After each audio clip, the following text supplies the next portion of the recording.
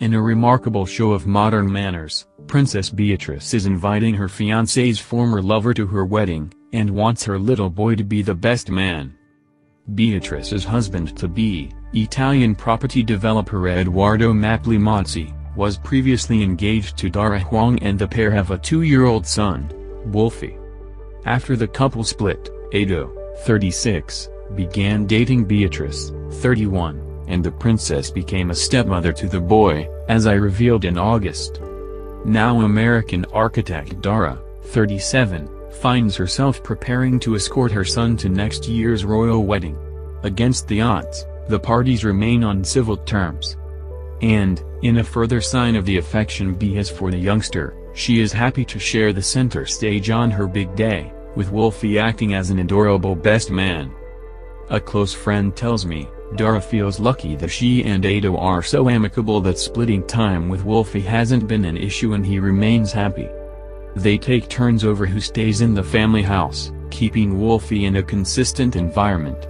Beatrice has been kind to allow them to do so. Dara and Edo are finding co-parenting to be a great way for one of them to be with Wolfie at all times as they both have busy schedules. Dana loves her son to bits and, like any mother, she is very protective. But in a very modern and grown-up way, she is totally happy that Beatrice will be developing a relationship with her son and is happy that he will attend the wedding as Edo's best man. Edo told me last night, B and I are both so excited to be embarking on the journey of life together. Thanks to Prince Harry, the world now knows that having more than two children is bad for the environment. Unfortunately for Jacob Rees-Mogg's wife Helena de Chair, this crucial piece of ecological information was delivered just as the couple's sixth child, Sixtus, turned two. I'm afraid it's a bit late where we're concerned, Helen admitted last week.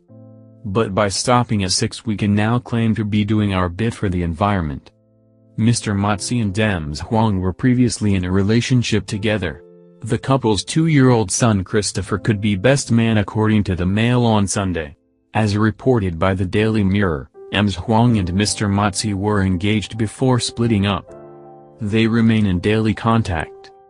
Beatrice and Mr. Mozzi are expected to marry next year. A source told Mail on Sunday that Ms. Huang will receive an invite. Christopher is nicknamed Wolfie by his parents. The source said, they take turns over who stays in the family house, keeping Wolfie in a consistent environment. Beatrice has been kind to allow them to do so.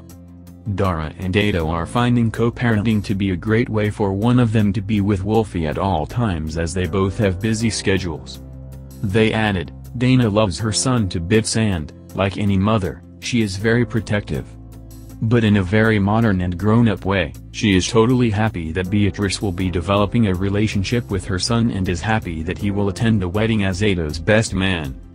A source close to the couple told People, Edo is easily one of the best dads, he is so involved, and Beatrice is already showing that she's a fantastic stepmommy.